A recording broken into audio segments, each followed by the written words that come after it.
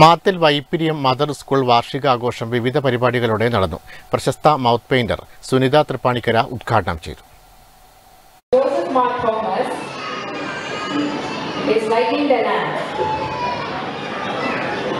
മാത്തിൽ Vaipiriyam mother സ്കൂളിന്റെ വാർഷികാഘോഷ പരിപാടികൾ വിവിധ കലാപരിപാടികളോടെ ആഘോഷിച്ചു. കുട്ടികളുടെ നൃത്തനൃത്യങ്ങൾ പ്രധാന ആകർഷണമായി. ചിത്രം വരച്ചുകൊണ്ടാണ് സുനിത തൃപ്പാണിക്കര ചടങ്ങിന്റെ ഉദ്ഘാടനം നിർവഹിച്ചത്.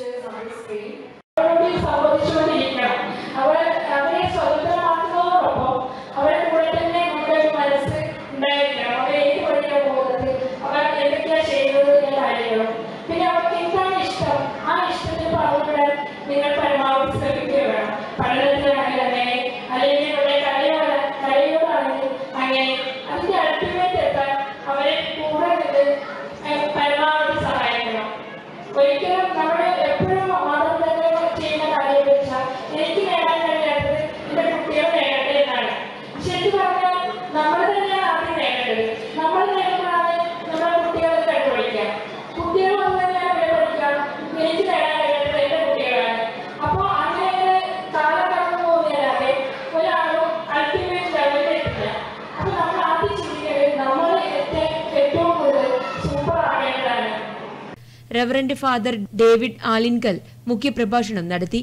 Reverend father Biju Mudampally T A Madhusudan M L A ഗ്രാമപഞ്ചായത്ത് president M V Sunilkumar father Mathew Kandathil Chandrika K V Vimalesh K Diya Santhosh Thulasi P തുടങ്ങിയവർ ചടങ്ങിൽ പങ്കെടുത്തു. Network news Karivellur